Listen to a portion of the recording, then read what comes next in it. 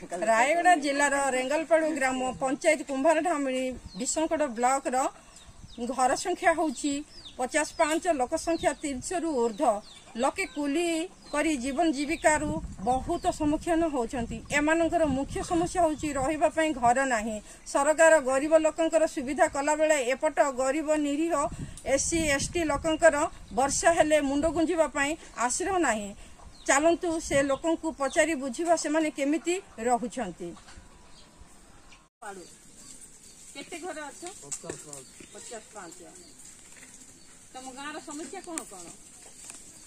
ଆମ ଗାଁର ସମସ୍ୟା ମାନେ ଠାକୁର ଗୋଟେ ଗୋଟେ ନାହିଁ ତିନି କିଲୋମିଟର ରାସ୍ତା ନାହିଁ। କାହାକୁ ଘର ଦ୍ୱାର ନାହିଁ। ତାପରେ ପାଣିର ଅସୁବିଧା ମଧ୍ୟ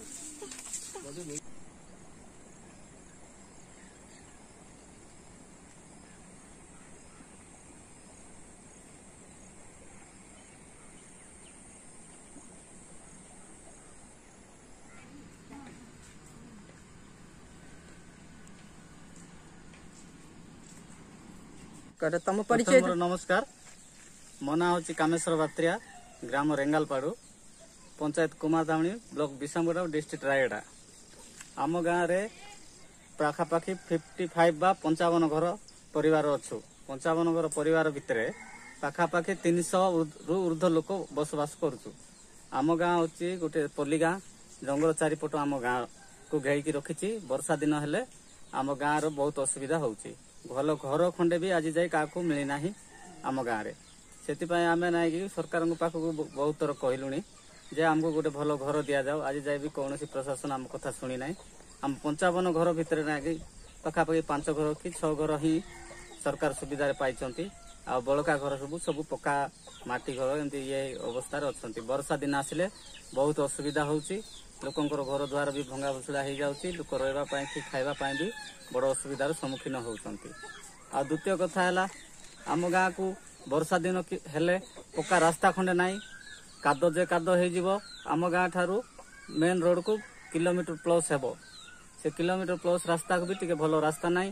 ବର୍ଷା ଦିନ ହେଲେ କୌଣସି ଗାଡ଼ି ଘୋଡ଼ା ଆସିବ ନାହିଁ କି ଆମ୍ବୁଲାନ୍ସ ବି କୌଣସି ଡେଲିଭରି ମା ଯଦି କୌଣସି ଅସୁବିଧା ହୁଏ ତାହେଲେ ଆମ୍ବୁଲାନ୍ସ ବି ଏଠିକି ଆସିପାରିବ ନାହିଁ। ଆଉ ଗୋଟେ ଜିନିଷ ଏଠି ସ୍କୁଲ ଅଛି। ସେଇ ସ୍କୁଲରେ ନାହିଁ ବାଉଣ୍ଡ୍ରି ୱାଲ୍ ନାହିଁ କି ସେ ଇଏ ସ୍କୁଲ ବି ଭଲ ନାହିଁ ସେ ସେ ଛାତ ଉପରୁ ଗଳି ଯାଉଛି। ସେଠି ପିଲାମାନେ ପଢିବା ପାଇଁ ବି ବଡ଼ ଅସୁବିଧା ହେଉଛି। ସେଇଟା ଗୋଟେ ସମସ୍ୟା। ଆଉ ଛୋଟ ଛୋଟ ପିଲାମାନଙ୍କ ପାଇଁ ଯୋଉ କେନ୍ଦ୍ରଟା ଅଛି ଅଙ୍ଗନବାଡି କେନ୍ଦ୍ର ସେ କେନ୍ଦ୍ରରେ ଲାଟ୍ରିନ୍ ବାଥରୁମ୍ ନାହିଁ କି ତାର ବାଉଣ୍ଡ୍ରି ନାହିଁ। ସେମିତି ହେଇକି ବହୁତ ଅସୁବିଧାର ସମ୍ମୁଖୀନ ହେଉଛନ୍ତି ଆମ ରେଙ୍ଗାଲପାଡୁ ଗ୍ରାମର ଜନସଂଖ୍ୟା। ଆଉ ଦ୍ୱିତୀୟ କଥା ହେଲା ଏଠି ଯେକୌଣସି ସରକାର ସୁବିଧା ଆଜି ପର୍ଯ୍ୟନ୍ତ ପାଇନୁ କୌଣସି ଇନ୍ଦିରାବାସ ପାଇନୁ କି ଭଲ ରାସ୍ତା ଖଣ୍ଡେ ବି ପାଇନୁ ଆମ ଗାଁ ପାଇଁ ବୋଲି। ସେଥିପାଇଁ ଆମେ ସରକାରଙ୍କୁ ବିନୀତ ଅନୁରୋଧ କରୁ ଆମ ଗାଁ ପାଇଁ ଟିକେ ଭଲ ପକ୍କା ଘର ଟିକେ ଦେଇଥାନ୍ତେ ଆଉ ଆମ ଗାଁର ରାସ୍ତା ଟିକେ ଭଲ ଉନ୍ନତି କରିଦେଇଥାନ୍ତେ ବୋଲେ ଆମେ ସରକାରଙ୍କ ଠାରେ ଚିର ଉପକୃତ ହେଇପାରିଥାନ୍ତୁ ବୋଲି ମୁଁ କହିବା ଆଚ୍ଛା ତମେ ଭିଡିଓକୁ କେବେ ଲେଖିକିରି ଦେଇଛ? ହଁ ବିଡିଓକୁ ଲେଖିକି ଦେଇଛୁ ପଞ୍ଚାୟତରେ ବି ଲେଖିକି ଦେଇଛୁ। ସେ କପି ଗୁଡାକ ଅଛି? ସେ କଫି ଗୁଡାକ ତ ନାହିଁ ମ୍ୟାଡମ ଆମ ପାଖରେ ଆମେ ଯାହା ଅରିଜିନାଲ କପି ଯାହା ଏବେ ଲେଖିଛୁ ଲେଖିବା ମିଶିକି ଯିବା ହେଲା ଆଚ୍ଛା ମ୍ୟାଡମ ଠିକ ଅଛି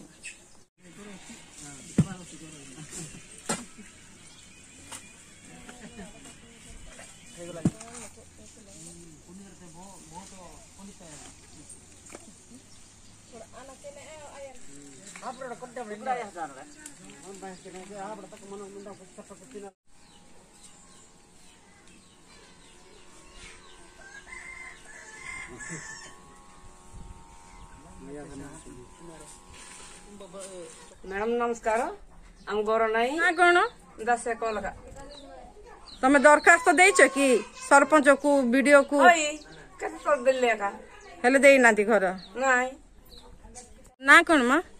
ରଞ୍ଜିତା କଲାକା ଦିଦି। ଆଚ୍ଛା ତମେ ଏଇ ଘରେ ରହୁଛ? ହଁ ଦିଦି। ତମକୁ ଘର ନାହିଁ ନାଇଁ ଦିଦି। ବର୍ଷା ଆସିଲେ କେମିତି କରୁଛ? ଗଳି ଯାଉଛି ଦିଦି ସେମିତିଆ କରାଉଛି ତମକୁ ସରକାର ସାହାଯ୍ୟ ଘର କିଛି ମିଳେନି? ନାଇଁ ଲେଖ। ମାନନୀୟ ଶ୍ରୀଯୁକ୍ତ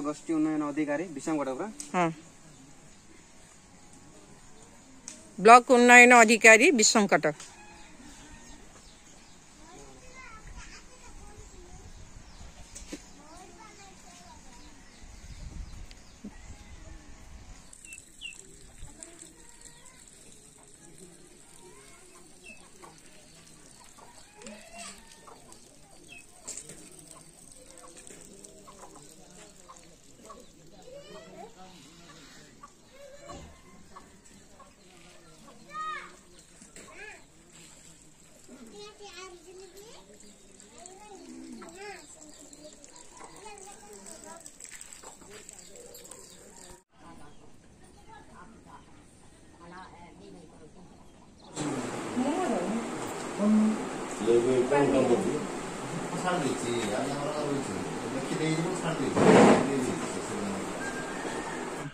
ଏହି ଭିଡିଓକୁ ଦେଖୁଥିବା ଦର୍ଶକ ଓ ସମାଜ ସୁରକ୍ଷିତ ସାଥୀମାନଙ୍କୁ ଅନୁରୋଧ କରେ କି ଗୋଷ୍ଠୀ ଉନ୍ନୟନ ଅଧିକାରୀ ଆଲବର୍ଟ ଲେକରାଙ୍କ ଯୋଗାଯୋଗ phone number nine double six eight seven five double four three ଫାଇଭ୍କୁ phone କରନ୍ତୁ। ଲାଇକ୍ ସେୟାର କମେଣ୍ଟ କରନ୍ତୁ। ମୁଁ ସାମୂହିକ ସମ୍ବାଦଦାତା ନୁରଜାହାନ ପାଣି ରାୟଗଡ଼ା ଓଡ଼ିଶା ଅନ୍ ହାର୍ଡରୁ।